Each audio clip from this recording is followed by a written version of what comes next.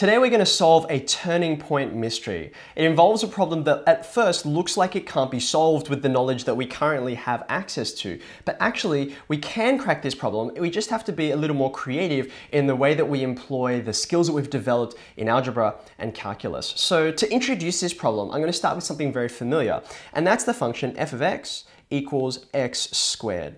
Now, hopefully you're familiar enough with x squared that you can see by my Cartesian plane, we're gonna graph this and a picture is already forming in your mind. Now, for reasons that'll become clear really shortly, I'm actually only going to graph part of this function. I'm only gonna graph the part where x is greater than zero. So very roughly, I think it's gonna look something like this.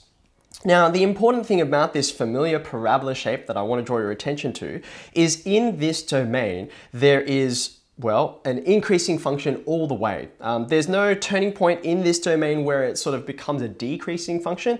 So this f of x equals x squared is familiar to us, and I want to compare that to uh, a very similar looking function, has all the same pieces, we're just going to arrange them differently. And that is 2 to the power of x. So if I swap the x and the 2, take the, uh, the number out of the index and make it the base, we get an exponential function. And in this same domain, well, honestly, the function looks pretty similar.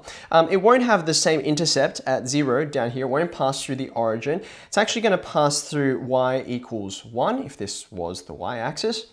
But then from there, it kind of, like I said, looks similar, it just kind of has this exponential growth feel to it. Now, just like with f of x equals x squared, I want you to notice that this has the quality of being an increasing function all the way through. In fact, uh, 2 to the power of x, even if we looked at it for the, the entire domain, if we didn't restrict it, if I had a look at this part over here, um, it would still be an increasing function for all values of x. But in the domain that I'm interested in, where these both overlap, that's what I want you to notice. So we've got, let's get rid of this little bit over here on the left. We've got f of x equals x squared, and then we have 2 to the power of x. Now, both of these functions, this quadratic and this exponential, are ones we understand pretty well. We understand what happens when you've got x in the base, and it's worth noting, if I increase that power from 2 to 3, 4, 5, etc., um, if I do that for the quadratic, and if I do that for I should say polynomial because it won't be a quadratic anymore. And if I do that for the exponential as well and change these numbers here, change them into, you know, oops, sorry, that's not a number, that's the x. If I change this number here or this number here, if I change them into any other values like 3, 4, 5, or, you know, 7, 8, 9, etc., um, even though the scale will look a bit different, the overall shape is still going to be preserved. So these are the qualities that I'm noticing in these domains, and I might as well write it down so it's really clear. X is greater than zero. That's the part that I'm interested in for both of these. Both of these functions are purely increasing functions. We could call them monotonically increasing. That's the fancy word, okay?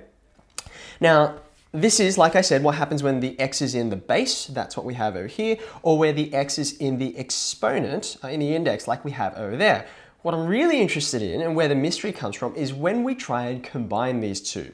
What if we had an x in the base and also in the index at the same time? Now, what I'm trying to think about is a function that looks like f of x equals x to the power of x. What's this thing going to look like? Now, we can actually explore this in depth, and um, I've done this in other places, so you can go and look those up if you're interested. But for now, let me just cut to the chase and show you what the graph of this thing is actually going to appear like. If I take this function x, well, I haven't done anything to it in terms of powers yet, raise that to a power before I put in the X, I just want you to make a prediction in the quietness of where you're learning at the moment. Have a think about what you would guess this thing looks like, remembering what our sort of component functions look like, the things that we've put in together to make this. Um, the polynomials over there on the left, um, they've got this upward trajectory, and so do the exponentials over there on the right. Okay, have you got an idea of what you think these things might combine into? Well, you might be a little bit surprised because when we have a look at the actual result, let's put the x up in the exponent. What is going on there? This function, and you might have had a guess at this because of the title I gave to this video, this function has a turning point. What is it doing there? Um, in fact, if we look a little more closely, you can see and there's some familiar numbers here. For example, if I put in x equals 1, then the function itself is going to take on the value 1 to the power of 1. So unsurprisingly, uh, you get this point over here. Let's actually just plot it 1, comma 1. Oops, that's not a plot. There we go. All right, so there's 1 comma 1. It sits on the curve. Um, you can see as you go toward the right, it's kind of what you expected. It just gets bigger and bigger and bigger.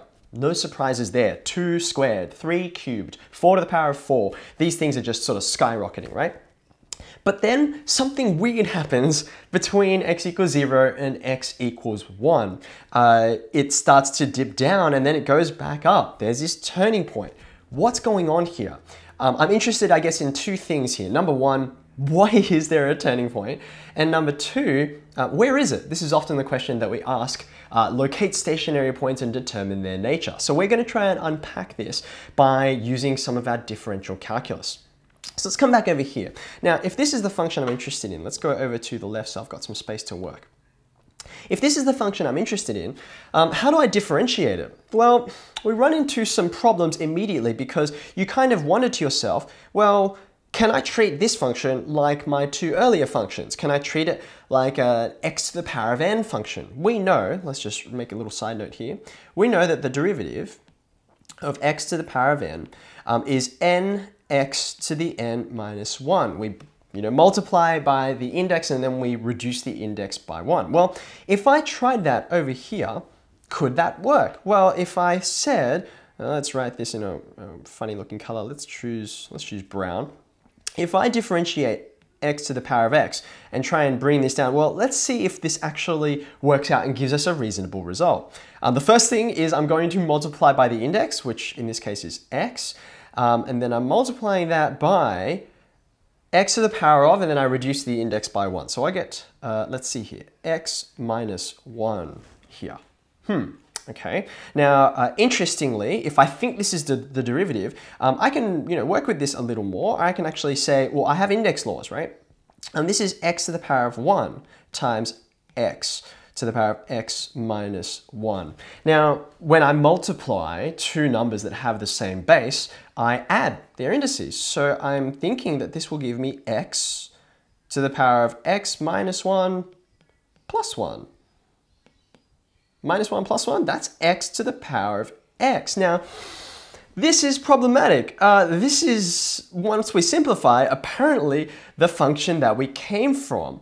But that can't be right because we know that the functions that have you know, their derivatives being themselves are the family of functions that are exponentials, e to the power of x, and um, the, the, functions like that, e to the power of x, you know, um, shifted left and right and all the rest. So this doesn't match this doesn't seem right. And we can also see that this must be wrong because if we come over here and try and think about, well, what would it mean for this function to uh, be its own derivative? We know something is definitely wrong because if we, uh, let me take a screenshot so I can write on this.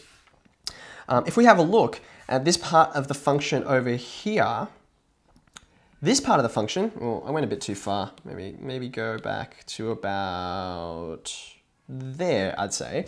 This part of the function is clearly decreasing. It's going down. So its derivative or its gradient function should be negative at that point. But we can see we're looking at x to the power of x right now. It's never negative. So this is a bust. This is no good. So uh, let's get rid of this. This is not the derivative. Um, I clearly, this approach that I used uh, here to use our, our derivative of a polynomial, it's not going to work. This is not a polynomial, x to the power of x, so I have to abandon this. So let's get rid of this approach. It's no good. Now, I can then say, well, maybe it's a little bit more like the function on the right. Maybe I should treat this more as an exponential. Now, when we have 2 to the power of x, um, or a to the power of x, we know that we can say the derivative of a to the power of x is going to be a to the x log a. Hmm, okay, a to the x log a. So would this work? Could I try this out with this function? Well, if I think, let's go back to my brown working before. If I think that this might work, let's just see what happens. This is actually a really important thing in working mathematically. Even though, you know, you might think something will go wrong, you actually will learn something by giving a shot anyway. So let's, let's just see where this will lead us. If I treat this in the same way, then I'm going to get, I guess, uh, x to the power of x log x. Hmm, Okay, well, let's see what happens if I give this a go. This, this will be interesting. If I come back to our function over here, what does x to the power of x log x look like? x, raise that to the power of x, and then I'm going to multiply that by, I'm going to go into my functions here, and it's going to be something like log x. All right. Now, what is going on here? Now, this is much more interesting to me, um, but it's got a problem and you'll see why in a second. Let's, it's interesting to me because if I zoom out, um, this, for starters, has, um, it, it, it does something that I wanted the previous derivative to do, which it didn't do. Namely, there's a part of this derivative, the gradient function, which is green, is a part of it that is negative. That should make us have a decreasing function. Now, I do have part of it that's decreasing, but it doesn't quite match, does it? Let's again take a screenshot so we can draw on this thing. If I have a look over here, where is the gradient function negative? Well, I pick yellow because it's a more helpful contrasting color. This part down here, this is where the gradient function is negative. So therefore I would expect that the function it came from, which I differentiated, it should be decreasing for this whole time. Now, I'm close, but I'm not quite there, am I? If you have a look at the red function above, it's decreasing for part of that yellow section, but not for the whole part. If you have a look at this part here, you know, the function has gone back to increasing again, and the derivative down there, well, yeah, it's not positive like it should be. So this is a bust as well. Let's get rid of this guy because it isn't what we want. So now we've established that our way of differentiating polynomials doesn't work. A way of differentiating exponentials which have a, a, you know a base like a uh, doesn't work either. Doesn't give us the result we want. So what can we do?